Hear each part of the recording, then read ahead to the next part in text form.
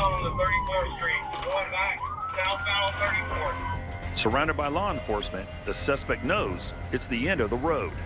He leaps from the moving truck, which plows into a police car as he attempts to flee on foot.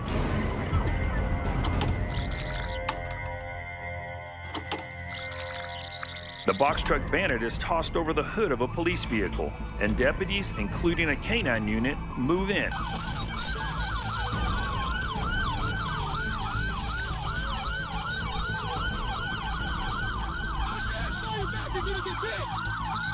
It takes five deputies to subdue the suspect.